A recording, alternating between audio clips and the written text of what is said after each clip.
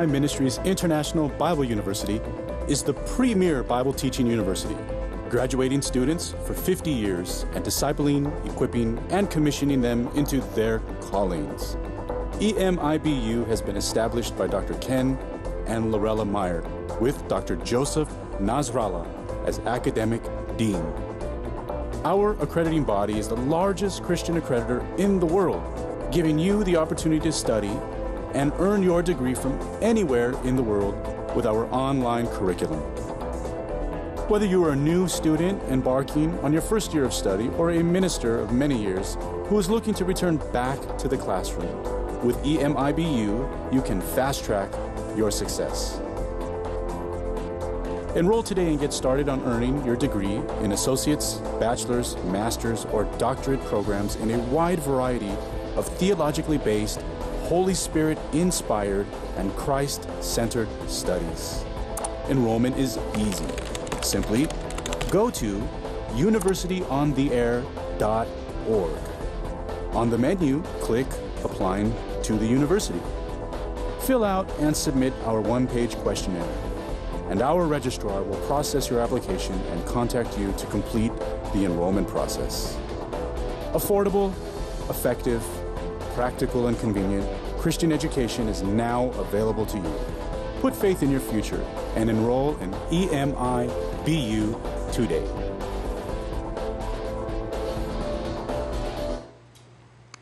God bless you as you have turned in to the University for the Nations End Time Ministries International Bible University. I am Dr. Lorella Meyer, and I am thrilled that I get an opportunity by God's grace to talk to you about His wonderful love. And with me, we have a wonderful guest. She was here last week, so I certainly wanted her to be here this week. And her name is Dr. Stella Davis. And we both are teachers, ministers, counselors, whatever God can use us, that's what we want to do. And so we want to be able to bless you and help you in the wonderful name of the Lord Jesus Christ. We were discussing about suffering. And the, even the Apostle Paul knew what it was to suffer. He said, I reckon that the sufferings of this present time shall not even be worthy, worthy when, when it comes to the things of the Lord, for the Lord will count it all joy, even in his own walk. Because we started out with Psalm 22, My God, my God, why hast thou forsaken me? It, he actually said that from the cross, and this was prophesied that he would do that. And so we're talking about the sufferings at this present time. And did you want to comment on that, Dr. Stella? Yes, I would. Thank you so much for having me. This is such an honor to be here with you today, Dr. Lorella, and I'm just thrilled. And I know that it was God that brought us together. Oh, amen. It was the Holy Spirit. Amen. And here we are today having a wonderful time talking about the things of God. And yes. so thank you for inviting me to be You're a part of your show. Yes, you know, uh, in James uh, it says, Count it all joy when we fall into diverse tests, trials, and temptations, knowing this, that the trying of our faith works patience, and let patience have her perfect work, that we may be entire, wanting nothing. So he said that we are to act like it's joy. It may, it may not be joy when you're going through tests, trials, and tribulations, as we all will and have and will continue to. But he said, act like it is, because he said that it's trying it's the trying of our faith. And we know that faith is the substance of things hoped for and the evidence of things not seen. And he said, without faith, it's Im- impossible to please him. And that's how, you know, we contact God. And that's how we move forward in the things of God is by acting on the word, which is faith. Faith is acting on what we believe. So when we're going through those fiery tests, trials, and tribulations, he said, Count it all joy. Yes. And he said that when we count it all joy, he said that it's the trying of our faith that works patience. Let patience have her its perfect, perfect work, that we may be entire, wanting nothing. Lacking We're nothing. maturing and lacking nothing because of the faith that we apply to every area of our lives. So, And in these days, particularly, the Word of God is so important because it's the Word that builds our faith, the united Word of Absolutely. God. faith comes by hearing blessed are they that hunger and thirst after righteousness, after righteousness. and for they shall be filled. And see, the Word and the Holy Spirit, they agreed. Yes. But in we're talking about there's a difference of the sufferings that the Lord brings us through because we have hope. But the sufferings of this world yes. are devastating that the Christian has the only answer. That's right. And We're the so, light and the salt. definitely. So you and I have seen many changes in the world's philosophies. yes. And even in America, as we see two political parties, um, I'll just take, for example, the Democratic Party. And Jesus was neither a Democrat nor a Republican. He just loved people. If I was to vote for president, let's, and just like they wanted the Lord Jesus to reign at that time, but that's not his will. But there's, there's a concept he wants us to, wants us to get here the sufferings, I reckon that the sufferings of this present time, what there are people that go through tremendous sufferings. Yes. Like number one, our Lord Jesus for Absolutely. the sufferings that he had on the cross and and and he paved the way and showed us how, but that could not we could not endure such a thing without the power of the Holy Spirit. That is for sure. But it talks about the world waxing worse and worse. That's right. And now we're seeing, uh, since um, since even the 50s, we see, begin to see a downgrade of of the moral fabric of our nation. Absolutely. And six means the number of man. That's when the drug culture really came in, and it began to deceive a lot of people and a lot of young people because many at that time were also very legalistic. Yes. And legalism, you and I both have seen legalism kills. That's the, right. The word, This- the, the Bible tells us about that. Right. That the word kills it, it- when it's not anointed. The letter kills. The letter, the spirit yeah, the letter of the word. life. Thank you for uh, clarifying that Yes. kills. But it's the spirit that gives life. That's right. And so what happened? uh, Young people were began to reject God when they saw a lot of legalism. Yes. And so you had what you call the hippie culture. Oh yes. And so that there was, was, in a the sixties. 60s, and then there was the great move of God called the Jesus movement. Yes. And I I think they recently did a movie on that a couple of months back. Uh-huh. But that was the greatest move of the Lord Mm-hmm. since uh, since the United States had been birthed uh, concerning young people. So this is what the, the Bible historians say. So, but what the next greatest move of the Lord, I believe, is going to involve young people. Oh yes. Absolutely. Why would we say that? Because the first thing that Hitler did in order to raise up a generation that would hate the Jews is that they were taken apart and indoctrinated. Mm. This is happening in America with with this not knowing their gender right. and is causing a lot of teen suicides. Yes, it is. And but now we're coming to so the enemy is after our children mentally right. Yes. spiritually and and and now there's even a greater crisis than I, I had realized and that was uh, and I encourage everyone out there to to absolutely see the movie it is it is so penetrating to the heart and the hope that God can give mm-hmm. and what a man was willing to risk his very life to save one child. It was just absolutely miraculous. It's called the sound of freedom when these little children uh, were freed from the slave trade. And, mm-hmm. and also, it says that the slave trade with children was even greater than the slave trade than when it was legal in our country. Mm. God hates that. He absolutely hates that. But these children that are missing from our borders and then all over the world, and they, they did a study and found out that the greatest came from America. So we need to mm. really pray for America that our moral structure Yes. and that our moral fiber be revived. There are many good people. And I was thinking about Revelation 12 coming to pass, and to me, the typology of the woman that fled in the wilderness was a church, and there was a place prepared by God for her. And the earth opened, and to help her, the earth helped her. So there are good people that have morals, but they don't know the Lord Jesus. But God is going to be revealing Himself. And so, what we find here, there was a comparison of a hundredfold, to me, a hundredfold Christian who is, comes to the baptism of love. Uh-huh.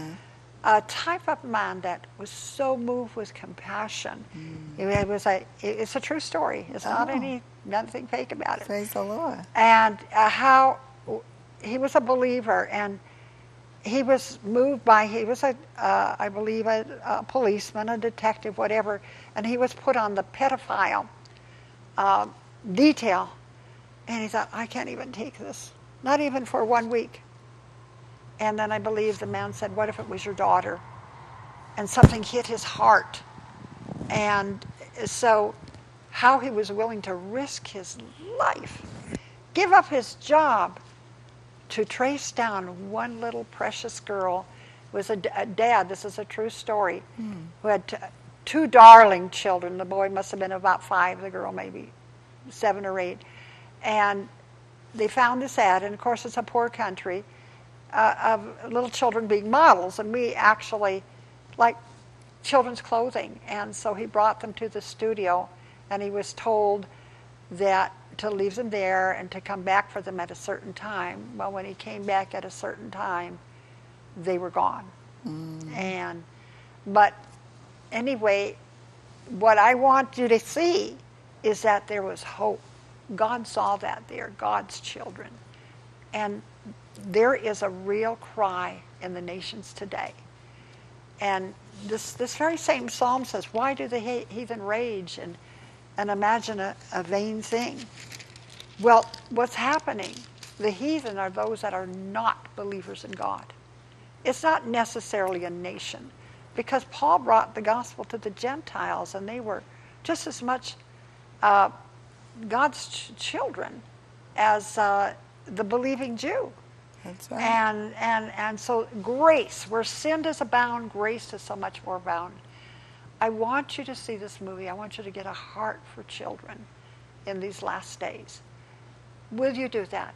And perhaps you've gone through suffering as a child, but there is hope for you. God will restore your worth. And I am going to have Dr. Stella lead you in a prayer that's going to bring restoration to your body, soul, and spirit that she amply taught a couple of days ago. Will you lead? those that are watching all over the nations of the earth through yes. cross television, which we're very grateful for. Praise the Lord. Well, you know, let's just bow our heads and go before the throne. You know, the Bible says to enter into his gates with thanksgiving and enter his courts with praise, and to be thankful unto him and to bless and praise his holy name. Father, we're so grateful for your love, your mercies that are new every morning. We thank you for the Holy Spirit. Holy Spirit, have your way, have your way in this time of prayer. We just thank you for every single individual that's under the sound of my voice today. Lord God, we thank you for your word that will not return void, but yes, it will Lord. accomplish that which you please, and it will prosper in the thing in which it is sent to do. And Father, we just thank you. We just lift up this nation to you. You said, if my people who are called by my name will humble themselves mm. and pray and seek your face, and and you said you would hear our prayer you would heal our land and you would forgive our sin. So, mm. Father, we thank you that we lift up this nation to you today. We thank you, Father, for these United States of America, and we just pray for all the nations of the world. Mm. We thank you, Father, for all of the children, because you said in your word that you love the children, and we are to be a blessing. We're blessed to be a blessing. We're to train them up in the way they should go. And you said, when they're old, they will not depart from the word of God. So we lift up all of the children right now, all of the young people, the young adults. We pray a hedge of protection around mm. them. We thank you, Father, that there's no weapon formed against them that shall prosper, and every tongue that rises in judgment shall be condemned. This is the heritage of the servants of the Most High God.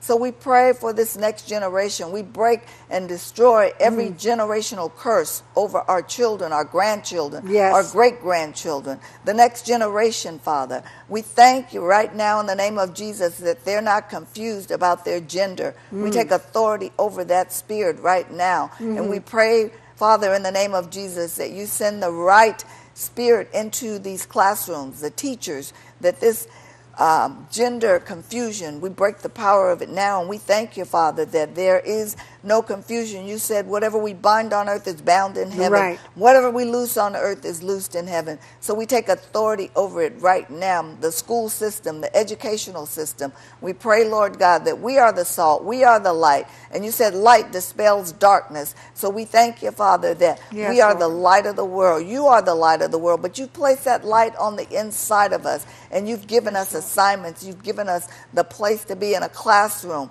as a parent, as a mother, and as a father. You said we are the ones to train up these children. So we thank you, Father. We pray right now over this drug war. We mm. take authority over drugs and alcohol and nicotine yes. and pornography and abortion and all the things that the enemy would try to bring against our children and our young people. Yes. So we pray against it now. We take the axe to the root right now in the name of Jesus. You said to bind the strong man. So we bind the strong man yes. of drugs and alcohol and nicotine and also this uh, drug, the trafficking, uh, this uh, trafficking of our young people right now in the name of Jesus, sex trafficking. We take authority over that, Father, and we take authority over this abortion. Yes. And we pray right now in the name of Jesus. Oh, Father, you said in the last days you would pour out your spirit upon all flesh, and your sons and daughters would prophesy. Your old men would dream dreams. Your young men uh, would see visions. So, Father, we thank you that your spirit is being poured out yes, upon Lord. this nation,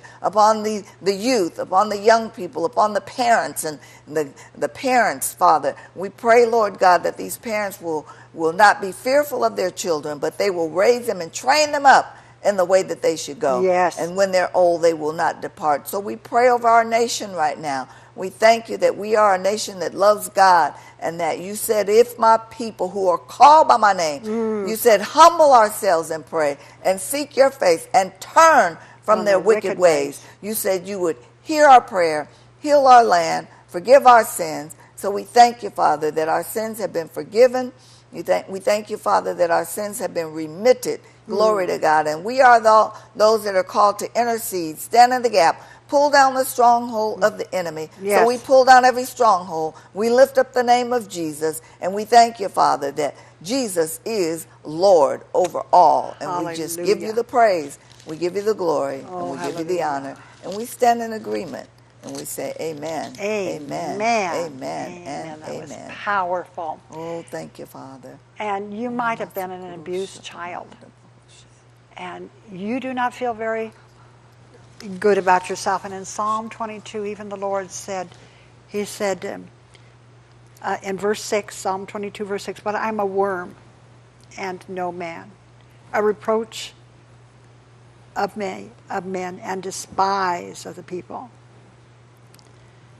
And so that's part of what happened on the cross, but but he brought out that scripture feeling just like nothing feeling like there's no hope. That word was prophesied at least 10 centuries. There was 10 generations.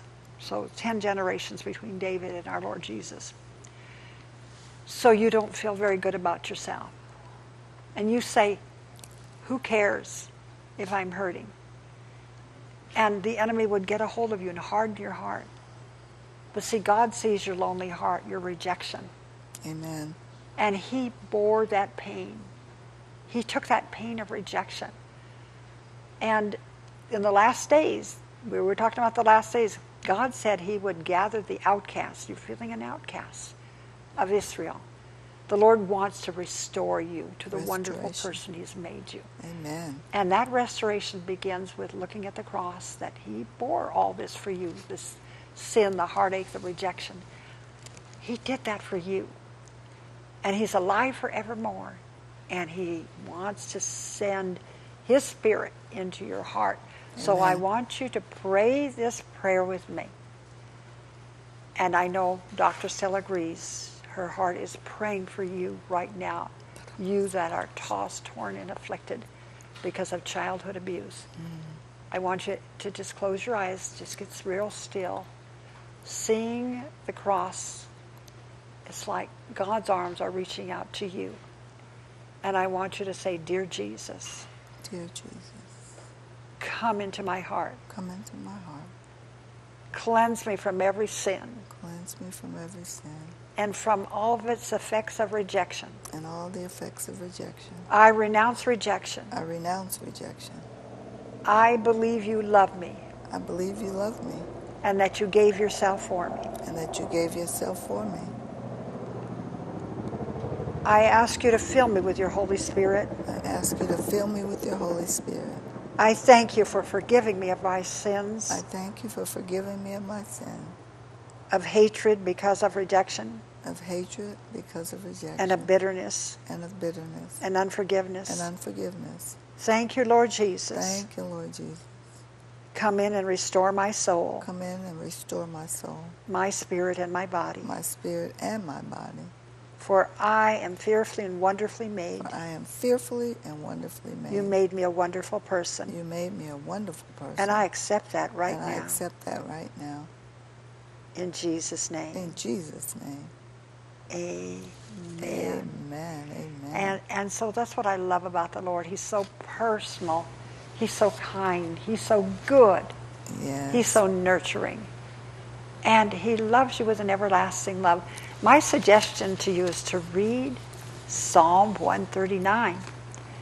And perhaps as Dr. Stella gets it, because she taught so well on body, soul, and spirit, we just have a few minutes.